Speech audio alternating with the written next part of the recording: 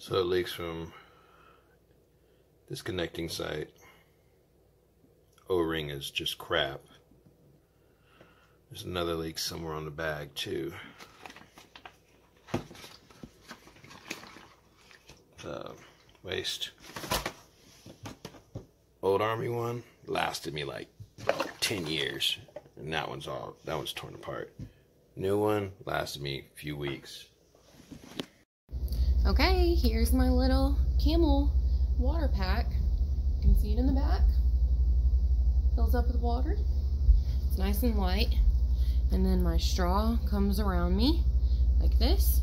And then got a little pop top. And there's this straw.